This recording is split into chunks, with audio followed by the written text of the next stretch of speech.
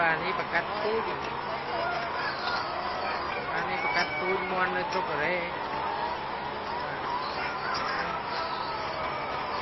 នេះបងគាត់មក7 8ឆ្នាំហើយបាទគាត់ប្រកាសទូចជំនាញហ៎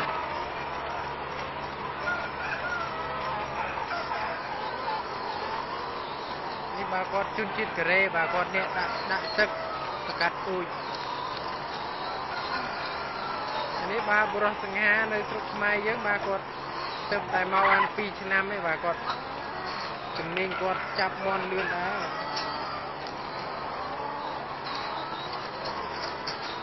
បាទទៅទំនុយហោម៉ានទៀតបាទធម្មតាទំនុយចាប់មន់នេះ tí nào cái tới rồi bạn làm nó mua នៅតតតែមួយនាទី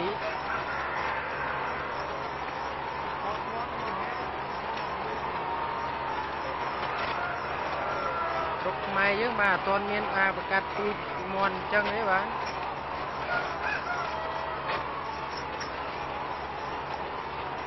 សុំវីដេអូនេះអាបង្ហោះទៅបាទជួយ share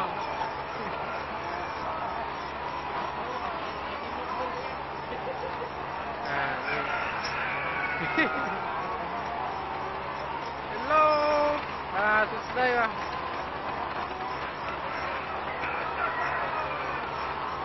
ថ្ងៃ ចាប់2000ក្បាលបាទ3000ក្បាល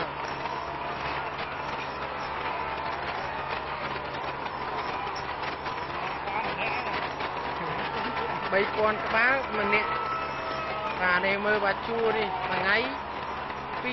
4ជួរបាទនេះបាទមើលមន់បាទមុខស្អាតស្អាតហើយមន់មុខក្រហមក្រហមហ្មង